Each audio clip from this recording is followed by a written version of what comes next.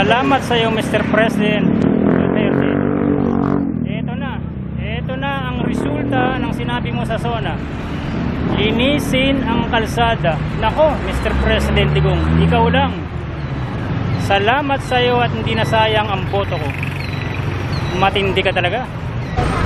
Yun oh, malinis na oh.